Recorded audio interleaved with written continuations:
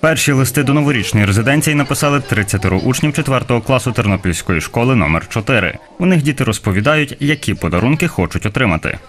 Буду писати побажання своїй сім'ї, нашій країні, батьківщині. Ну, бажати здоров'я, щастя, радість, багато подарунків.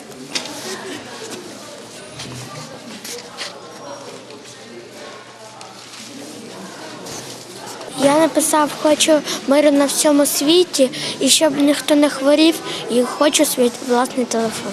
Е, Отримав відповідь, що це, це буде, але ти маєш це заслужити телефон. Е, Получати добрі оцінки, дванадцятки, е, бути слухняним і допомагати всім.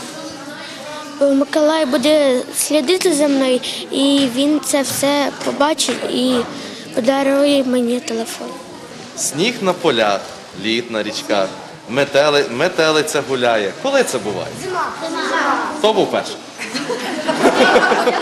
Директор Тернопільської дирекції Укрпошти розповіла, новорічну резиденцію відкрили для того, щоб популяризувати листи, написані від руки. каже, відповідь на листи отримає кожен.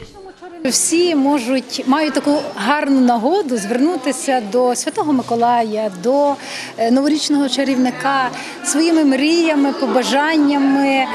Е, З добром ми пропагуємо добро, радість. Е, Ми хочемо, щоб люди користувалися традиційними листівками, не лише електронними. Найкращі е, листи, можливо, вони будуть підкріплені дитячими малюнками, можливо, це будуть якісь е, історії, мрії, побажання.